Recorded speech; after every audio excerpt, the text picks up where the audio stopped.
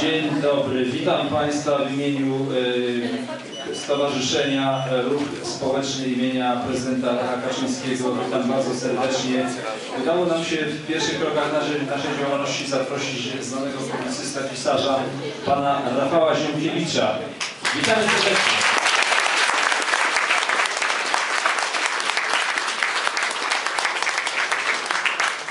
Proszę bardzo, oddaję głos panu redaktorowi Jaltorowi. Dziękuję bardzo. Dziękuję bardzo za zaproszenie. Pozwolą Państwo, że postoję sobie, bo tu parę godzin jeszcze siedzenia czeka w czasie jazdy z powrotem i w tę stronę też. Także mm, bardzo serdecznie dziękuję za zaproszenie, bardzo serdecznie dziękuję Państwu za tak liczne przybycie. Mam, mam propozycję taką, że może ja wygłoszę tam sobie jakiś krótki referat wstępny, jak to jest na tego typu spotkaniach.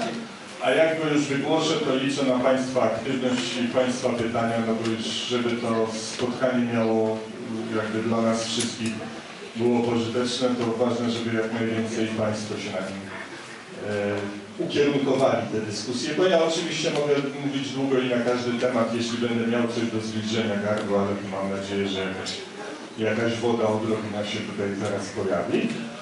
Proszę Państwa, umówiliśmy się na taki temat y, bardzo ogólnikowy, który pozwala mówić na każdy temat, a to jest tajemnica udanego spotkania, żeby się na każdy temat wypowiedzieć. W związku z tym y, ja może powiem o jednej kwestii, ponieważ tutaj już musiałem sobie trochę podzielić wizytę w Olsztynie. Na uniwersytecie rozmawialiśmy o mediach, ten temat może już został zagospodarowany. Natomiast tutaj się mówi się, że porozmawiamy troszkę o problemie współczesności, ale właściwie to ja bym chciał zacząć od powiedzenia, co w moim przekonaniu jest w ogóle największym polskim problemem, generalnym, z którym, z którym no nie powiem, jako publicysta, jako pisarz mam najwięcej do czynienia, ale który też warunkuje wszystkie inne sprawy. Otóż jest coś takiego w państwie, bez czego państwo nie może funkcjonować, czy w ogóle społeczność jakaś nie może funkcjonować, co przyjęło się nazywać elitą.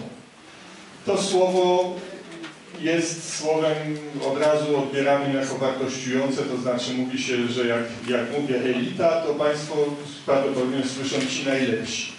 No bo to tak z reguły oznacza. W potocznym znaczeniu elita to są ci, którzy są najlepsi. Ale jak mówimy o elicie państwowej, to mówimy niekoniecznie o tych, którzy są najlepsi, ale po prostu zajmują, pełnią pewną określoną funkcję. Państwo, żeby funkcjonowało, społeczność, żeby funkcjonowała, musi mieć ludzi, którzy obsługują pewne ważne dziedziny tego państwa, którzy się zajmują mm, snuciem planów, tworzeniem wizji, tworzeniem strategii osiągania celów, osiąganiem tych celów, którzy obsługują instytucje kultury, którzy obsługują instytucje szkolnictwa i wyższego szkolnictwa i nauki i działanie aparatu państwowego i tak dalej. No wszystkie te funkcje nazywamy w największym skrócie tych, którzy to robią, nazywamy elitą. Że jeżeli, jeżeli to y, jakoś upraszcza sprawę, to mm, Adam Mickiewicz użył takiej formuły w sławnej scenie salonu warszawskiego. Ci, którzy są na narodu czele, mówi jeden z rozmówców, a drugi mówi powiedz raczej na wierzchu. No więc chodzi mi o tych, którzy są na narodu wierzchu. Otóż, proszę Państwa, w y, kraju normalnym ta elita wytwarza się, można powiedzieć, w procesie naturalnym. W kraju, który jest wolny, w kraju, który się sam y, rządzi, ta elita powstaje w ten sposób, że po prostu znajdują się rzeczywiście najlepsi, może stąd znaczenie potoczne słowa elita, którzy sobie najlepiej z danymi sprawami radzą. I kraje niepodległe, kraje, które od dawna są wolne, nie mają problemu ze swoją elitą, ponieważ, ponieważ ta elita powstaje w sposób normalny, naturalny. I nie ma żadnych kompleksów, ani nie ma żadnych resentymentów. Jeśli się ludzie, mm, jeżeli mamy do czynienia, nie wiem, na przykład z Wielką Brytanią czy z Ameryką, a to są kraje właśnie normalne, i taki przeciętny Amerykanin patrzy na swojego przedstawiciela władz, przedstawiciela e, tak zwanej high society, wysokiego towarzystwa, dobrego towarzystwa, z salonu, to widzi po prostu kogoś, kogo zakłada odruchowo, że ten ktoś jest, no okazał się lepszy pod jakimś względem, może bardziej utalentowany, może bardziej pracowity, może bardziej przedsiębiorczy, pomysłowy, krótko mówiąc, awansował w sposób naturalny, zasłużył sobie na to. Co najmniej, jeśli nie on był lepszy, to jego rodzice musieli tacy być. Coś osiągnęli, osiągnęli jakiś sukces, w związku z czym to, że są wysoko w hierarchii społecznej, zasługuje na podziw, zasługuje na uznanie. W kraju takim, jakim my jesteśmy, który przez wiele pokoleń był zniewolony, jedną z przyczyn zniewolenia, okupacji, zaboru czy kolonizacji, jakkolwiek to nazwać, jest to, że nie wytwarza się elita kraju w sposób naturalny. Ktoś ją wyznacza, to znaczy wyznacza ją ten okupant, ten zaborca, ten y, właśnie kolonizator i wyznacza ją, bo potrzebuje, no, żeby sprawować władzę nad jakąś społecznością, czy żeby sprawować władzę nad jakimś terenem, trzeba mieć ludzi, którzy będą tę władzę zaborczą czy kolonialną obsługiwać. Tak? Ktoś musi spisywać tubylców, choćby po to, żeby do poboru wojskowego było wiadomo, kto trafił. Ktoś musi zbierać podatki, ktoś musi w związku z tym prowadzić jakieś lokalne kancelarie, ktoś, kto zna język miejscowy. W związku z tym każdy kolonizator, każdy zaborca, każdy okupant wytwarza swoją elitę kolaboracyjną. Portugalskim słowem ładnym to się mądrze nazywa kompradorską. Właśnie słowa, które znaczy mniej więcej tyle co kolaborant, ale brzmi nieco ładniej, więc można mówić elita kompradorska. Kapitalizm ma I być. wszystkie, I wszystkie sprawy, zaraz będę prosił o pytania. I wszystkie sprawy, które nas dręczą, ja zawsze proponowałem jako publicysta w swoich tekstach, żeby nie szukać jakichś wyjaśnień metafizycznych tutaj, ani nie mówić, że jacyś Polacy są, prawda, inni, są trochę inni, bo mają inną historię, ale że, że z natury są prawda, jakimiś nieudacznikami, częsta teoria, że tu się nic nie może udać, że my po prostu jesteśmy beznadziejni, my nic nie potrafimy, nie możemy się zorganizować i tak dalej, i tak dalej. Nie. Próbujmy to zrozumieć porównując się z innymi krajami. Jeżeli porównamy się z krajami, które były w podobnej sytuacji jak nasza, a moim zdaniem kluczem do tej zrozumienia tej sytuacji jest to, że byliśmy krajem przez 50 lat poddanym zaborowi komunistycznemu. Wcześniej zaledwie 21 lat niepodległości, 120 lat zaboru. A jeszcze wcześniej też nie byliśmy krajem takim samym jak kraje zachodnie, bo nasz rozwój społeczny szedł inną drogą, bo nie byliśmy krajem, który wytworzył miasta i klasę mieszczańską, z której na zachodzie powstała klasa średnia, tylko mieliśmy dwór szlachecki i właściwie ten dwór szlachecki był podstawą kraju, miasta były nieduże, a zamiast klasy średniej była, był, był, był faktor tak zwany, prawda, że każdy szlachcic miał swojego Żyda, każdy Żyd swojego szlachcica i ta mniejszość etniczna pełniła bardzo specyficzną rolę w państwie polskim, to wszystko sprawiło, że się nas, nasz rozwój społeczny cokolwiek wykoleił, cokolwiek dziwnie inną drogą poszedł niż na zachodzie. Potem, prawda, tam była rewolucja przemysłowa, u nas w tym czasie były rewolucje narodowo-wyzwoleńcze, które nazywamy powstaniami. Ale już nie sięgając nawet tak daleko w tę dziwność naszej sytuacji, zobaczmy tylko te ostatnie pół wieku. Jeżeli porównamy się z krajami na przykład azjatyckimi, albo południowoamerykańskimi, albo afrykańskimi, chociaż tam jest inna kultura. W Indiach też jest inna kultura, w Ameryce Południowej jest jeszcze inna kultura. Zobaczymy, że wcale nie kwestie kulturowe o pewnych rzeczach decydują, bo problemy, jakie oni mają, są tymi samymi problemami, które my znamy. Problem ciągłej niemożności, problem niemożności zreformowania państwa, problem napięcia takiego silnego między elitą, w tym sensie właśnie nie wartościującym, tylko opisowym, a społeczeństwem. Problem, który my mamy, to jest problem państwa postkolonialnego. Jakkolwiek by to brutalnie brzmiało, jesteśmy takim krajem, w którym po prostu te mechanizmy zadziałały. One zadziałały na swój specyficzny sposób, także dlatego, że przez te półwiecza, przez te pół wieku komunistycznego zaboru, kiedy byliśmy okupowani, mm, połączone to było z próbą wytworzenia nowej elity na miejsce dawnej, która już istniała. Polska niepodległa miała swoje elity. Co się z nimi stało? W dużym stopniu zostały wymordowane, zostały eksterminowane przez okupantów jednego i drugiego, zostały rozpędzone po świecie, zmuszone do emigracji, zostały wyniszczone metodą biologiczną, bo potomkowie elit mieli, mieli zakaz po prostu, prawda, obejmowania pewnych funkcji, pewnych zawodów. To jest może częsty przypadek. Moja mama na przykład nie mogła studiować, bo po prostu miała złe pochodzenie społeczne, w związku z tym nie przyjmowano jej na studiach i takich ludzi było bardzo wielu, którzy nie mogli się realizować. Częścią oczywiście z tych przedwojennych elit, które były przecież jakoś tam lewicujące, hodowano nową elitę PRL-owską, ale generalnie chodziło o taką socjotechnikę. Chodziło o to, żeby wychować nową elitę państwa ludowego, jak je nazywamy. Ona była często, do, często hodowana metodą doboru negatywnego, bo jak każdy, kto sięga pamięcią w PRL potwierdzi, to było wręcz wyraźne, że tym wyżej się awansowało, im kto mniej sobą reprezentował. No dlaczego? No jeżeli głównym kryterium awansu była gotowość do kolaboracji, wytwarzał się jakiś tam pułap, bo do pewnego momentu trzeba było fachowców, ale na kierowniczych stanowiskach awansować mogła tylko tak zwana nomenklatura. To był system przecież, przepraszam, że mówię rzeczy oczywiste, ale może już dzisiaj e, one, zwłaszcza ludziom młodym, nie są znane, bo się po prostu o tym jakoś nie mówi, nie przypomina. Każdy moment odzyskania niepodległości to jest moment wielkiego problemu, co teraz zrobić z tą postkolonialną elitą.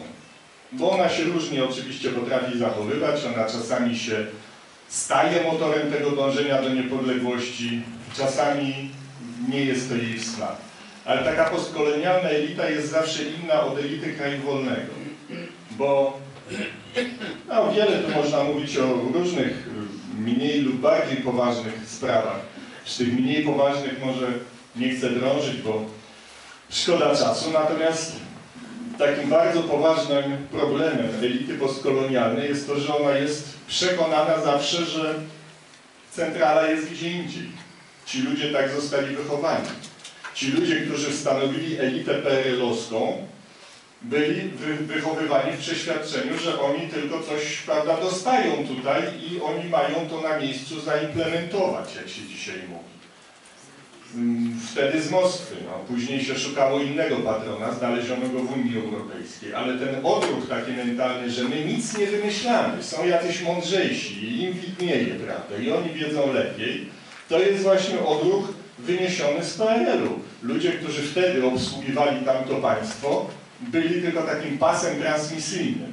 Centrala przesyłała wskazówki, oni tutaj mieli je na lokalnym szczeblu wprowadzić.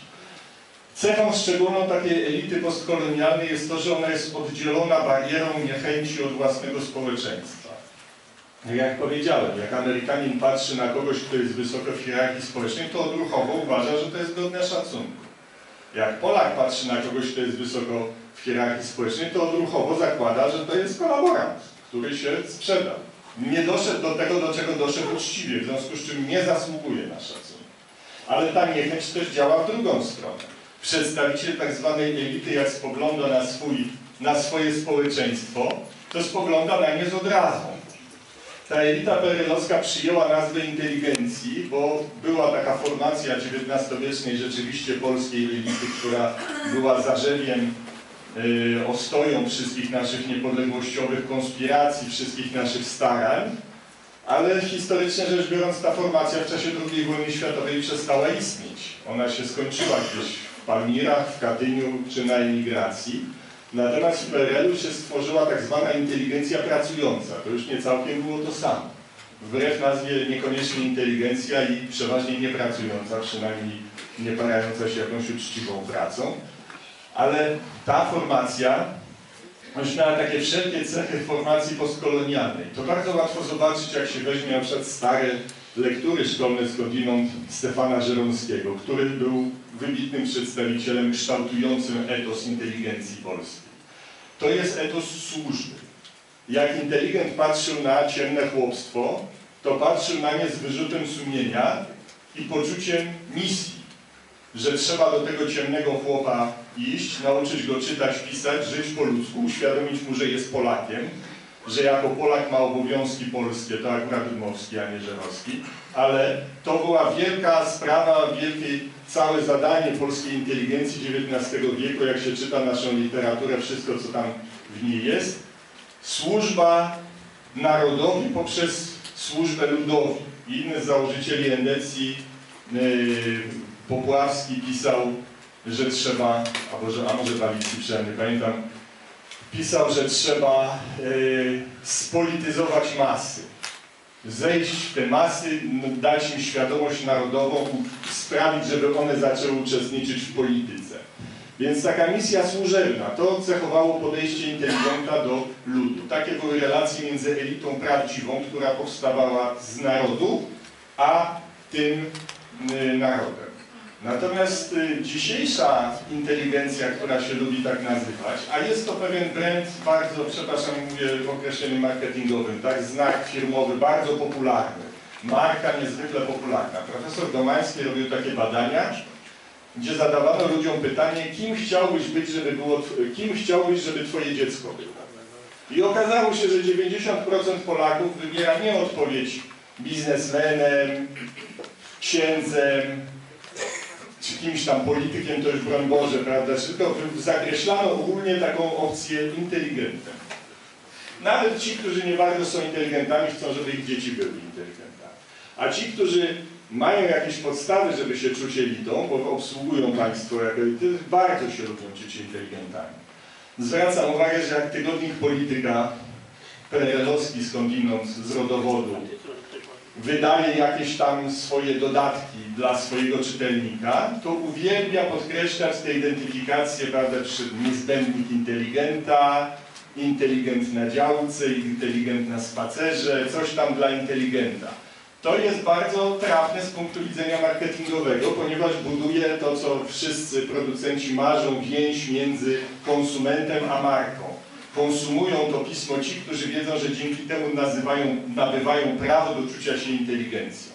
To jest bardzo modne właśnie czuć się inteligencją. Ale czy to rzeczywiście jest inteligencja? Jeżeli pamiętamy o tym etosie inteligencji dawnej, etosie służby narodowi, no to w najmniejszym stopniu nie. Ponieważ jeżeli czytamy pisma z inteligentem w tytule, jak wspomniany tygodnik, czy jak gazetę wyborczą, która też żyje na tym, że jest takim brandem, który ma zaświadczać o inteligencji nabywcy, dawać mu poczucie awansu, to tam jest dokładnie odwrotna emocja skierowana wobec własnego społeczeństwa. Emocja niechęci emocja pogardy podszytej lękiem.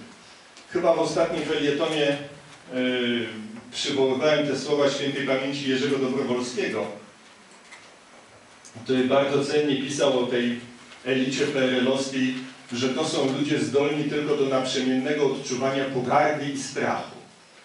Jeśli czują się niezagrożeni, to czują pogardę do własnego społeczeństwa, bo to są, mówiąc językiem ulubionej, ulubioną frazą Gazety Wyborczej, starsi, gorzej wykształconi i z małych ośrodków. W związku z czym my jesteśmy lepsi, prawda? My czytamy właściwe gazety, my jesteśmy prawdziwymi Europejczykami, a to jest ten ciemnogród. Jeżeli ten ciemnogród okazuje się, wychodzi na ulicę, nie chce słuchać, to się pojawia emocja strachu. Pogarda podszyta strachem daje efekty straszne, więc jest to chęć zdelegalizowania tego społeczeństwa, które nie słucha autorytetów, kwestionuje te autorytety. To jest bardzo długo by można mówić, analizując język współczesnych mediów, tych zwłaszcza, które chcą się identyfikować z elitą, z inteligencją, jak on ujawnia takie kompleksy wyższości, ale i zarazem lęk przed własnym społeczeństwem, obcość wobec niego, poczucie niechęci, poczucie zagrożenia, że są to jacyś straszni ludzie, prawda, którymi trzeba panować, bo ta wizja tych mediów jest właśnie taką wizją Polaków jako ciemnego, nieobliczalnego tłumu, nad którymi ktoś musi sprawować straż, ponieważ jak tej straży nie sprawuje, no to ten motłoch gotów zrobić coś strasznego. Proszę Państwa, to są dokładnie właśnie zachowania elity postkolonialnej, która gardzi swoim społeczeństwem i jednocześnie się go boi. Ja kiedyś ukułem takie określenie na użytek felietonu, że nikt nie czuje takiej pogardy do murzynów, do czarnuchów, jak murzyn, który został sierżantem w kolonialnej armii. Bo on się już czuje prawie, prawie Anglikiem, prawda? prawie biały. I my mamy w tej chwili właśnie na Narodu Wierzchu taką ogromną formację no, takich mm, kolonialnych sierżantów, którzy uważają, że centrala jest gdzieś indziej, stamtąd płyną wzorce jedynie słuszne, z Europy, w tę Europę mamy być zapatrzeni. Oni są tylko takim pasem transmisyjnym, który te wartości płynące z cywilizowanego świata tutaj ma narzucać, a ci, którzy się opierają temu procesowi, no to są głupie dzikusy, prawda, które są starsze, gorzej wykształcone i z małych ośrodków. I absolutnie nie można z nimi wchodzić w żaden dialog, bo jest to godne pogardy, trzeba tylko ich w jakiś tam sposób eliminować, pacyfikować, uspokajać. Tak, taki klucz postkolonialny mam wrażenie, że otwiera trochę sytuację polskiego społeczeństwa, bo wrócę do tego momentu. Co się działo po roku 89? Jaki jest największy problem państwa, które odzyskuje niepodległość? No, tym problemem jest właśnie teraz, kto ma to państwo obsługiwać.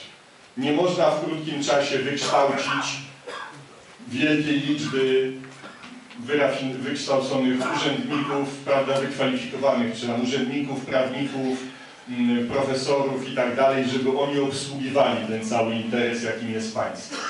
Można oczywiście najwyżej tam zdekapitować co najbardziej zajadłych kolaborantów, a reszcie trzeba zaufać i trzeba ją zostawić. W związku z czym w 1989 roku były takie dwie opcje do wykonania. Nazwijmy ją bardziej radykalną i bardziej łagodną. Tę bardziej radykalną, obie, żeby nie było nieporozumień, obie się oczywiście odwoływały do pewnej obłudy. E, Ta bardziej radykalna opcja to była opcja, którą wtedy sugerował Jarosław Kaczyński, wówczas y, senator Obywatelskiego Klubu Parlamentarnego, e, który przy Wałęsie się pojawił w momencie, kiedy dotychczasowi doradcy Wałęsy się z nim pokłócili. I to była opcja oparta na wzorcach niemieckiej denazyfikacji. Na czym polegała denazyfikacja? No ten sam problem. Znowu można na to spojrzeć jakby na wyzwalanie Niemiec z narodowego socjalizmu. No nie można było znaleźć nagle Amerykanie, którzy tam przyjechali z Anglikami za, urządzać demokrację w Niemczech, nie mogli nagle znaleźć, posłać do diabła wszystkich dotychczasowych uświnionych kolaboracją z y, nazistami y, elit i znaleźć nowych. W związku z czym zrobiono jakby takie symboliczne obcięcie głowy. Takich wszystkich najbardziej parszywych nazistów, którzy się szczególnie zajadle odznaczyli, aresztowano, osądzono.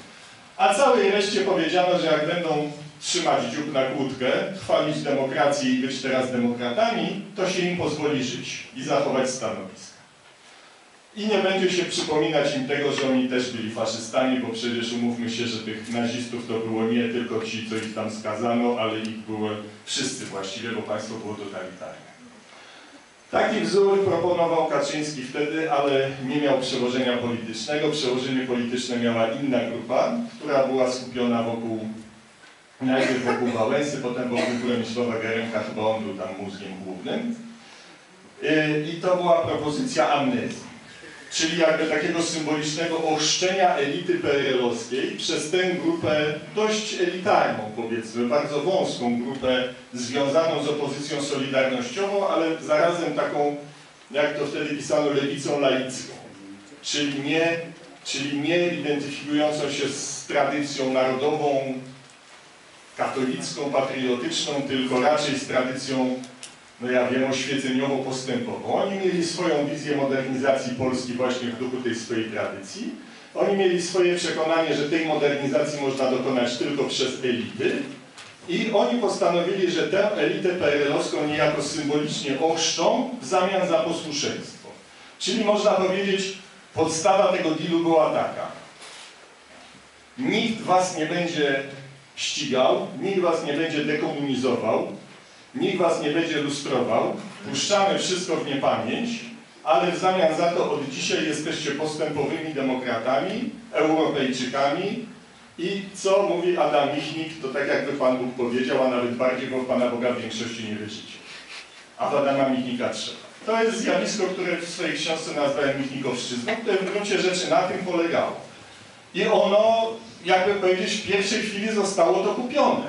To znaczy Adam Michnik okazał się być największym herosem podziemia, najbardziej zdecydowanym, najbardziej zajadłym wojownikiem, największym autorytetem moralnym, no bo skoro po prostu setkom tysięcy ludzi powiedział to, co oni chcieli usłyszeć, to stał się dla nich idolem. To może warto dodać, że to dla dzisiejszych ludzi, młodych zwłaszcza, jest trudne do zrozumienia, jak, jak niewiarygodna to była wolta, ta, którą Adam Michnik wykonał, prawda? Bo on w latach 80. swoją pozycję budował na tym, że był najbardziej nieprzejednanym z nieprzejednanych. To był ten człowiek, który krzyczał, że komuniście ręki nie podać nigdy. Jak Marcin Król, profesor, wtedy chyba jeszcze nie był profesorem, wynegocjował w 80 latach, y, pod koniec lat 80. wynegocjował z y, Urbanem bodajże nawet osobiście, że pismo, które wydawał w podziemiu Republika będzie wydawał naziemnie i y, to, to zostało y, klepnięte, no to Adam Michnik go wykluł po prostu. Ogłosił, że ten człowiek jest świnią ostatnią, bo, bo rozmawiał z Urbanem, bo Urbanowi rękę podawał. Nawet jest prześmieszna historia z Tomaszem Jastrunem, który dzisiaj wpisuje strasznie przeraźliwe, durne felietony w Newsweeku, a który wtedy się gdzieś tam publicznie wypowiedział, że może jednak król słusznie postąpił i za to go Adam Michnik wyrzucił z urodzin u Koronia. Co było, prawda, szalenie, szalenie yy, no, jego taką prerogatywą. On był takim cenzorem w sensie starożynckim, czyli tym urzędnikiem. Cenzor to był taki urzędnik, który decydował, kto yy, jest godny, żeby być senatorem, a kto jest niegodny i trzeba go pozbawić szlachectwa więc w taki sposób go pozbawił szlachectwa. I potem nagle w 90 roku e, ten właśnie Michnik okazało się, że jeszcze po drodze był ten list do Kiszczaka, który napisał z więzienia, bardzo dumny, pełen bluzgów, kochaliśmy go wtedy, prawda, za ten list. Ale potem się okazało nagle, że ten Michnik się całuje z Kiszczakiem, przytula, pije bruderszafty, każe się odpieprzyć od Jaruzelskiego. Niektórzy, skąd ta przemiana? No niektórzy mówią, że to po prostu być może zawsze byli zblatowani i to była tylko taka komedia. Inni mówią, że być może to on ma taką osobowość popapraną. A w moim przekonaniu było to bardzo wyliczoną polityczną kalkulacją. Chciał zostać tym, który sprawuje, znowu Mickiewiczem pojadę, który sprawuje rząd dusz nad elitą kraju, a uznał, że rząd dusz może sprawować tylko w ten sposób. Tylko to było 20 lat temu. Jaki był skok? Pewna wąska elita solidarnościowa poszła za Michnikiem, wtopiła się w tę elitę PRL-owską. Ci, którzy nie poszli, zostali w dużym stopniu symbolicznie zniszczeni, to znaczy pozbawieni do prawa uważania ich za elitę, ośmieszeni jako oszołomy, wypędzeni z życia publicznego, z mediów, pozbawieni głosu. Jaki był efekt? Elita ochrzczona przez ten postsolidarnościowych działaczy nie stała się solidarnościowa. To ci, którzy poszli za Michnikiem i wtopili się w, ten, w tę elitę PRL-owską, nabrali jej nawyków. Czyli właśnie tego nawyku naprzemiennego odczuwania pogardy i strachu wobec własnego społeczeństwa. I kiedy my dzisiaj jesteśmy szarpani, bezustanni jakimiś od 20 lat, ciągłą histerią, ciągłymi takimi aktami pogardy wobec polskiego społeczeństwa. A to przyjeżdża jakiś pajac z Ameryki, który się przedstawia tutaj jako wielki historyk i nam mówi, że prawda, jesteśmy pełni win, bo musimy się rozliczyć za winy, jakie mamy wobec Żydów. Co jest, pewnie się tutaj nie pokłócimy, nie chcę mi się tego wątku ciągnąć, stertą głupstw, kłamstw i manipulacji, prawda, i opartym na jakimś kompletnym rasizmie, bo gdybym ja gdzieś napisał, że mają się Żydzi rozliczyć za swoje winy, za Bermana, za Różańskiego i innych, to byłby to, nikt by nie miał wątpliwości, że to jest rasizm, antysemityzm, że to jest ohydne y, stosowanie odpowiedzialności